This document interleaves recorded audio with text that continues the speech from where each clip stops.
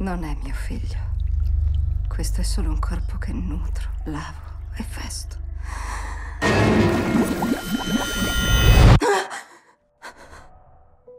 Salve, dottor Wilson. Come sta, Steven? Come la settimana scorsa. L'ho perso il giorno che ho perso Richard in macchina. E il suo prossimo paziente la sta aspettando in ufficio. Sta sopportando molto dolore dopo la morte di sua madre.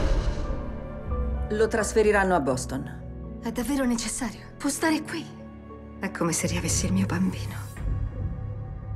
Ciao, Mary. Ciao. Come sta andando?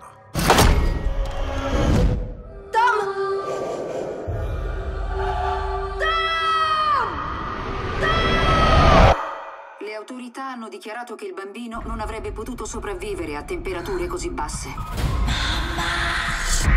Ho visto Tom. Ma tutti continuano a dire che sia morto.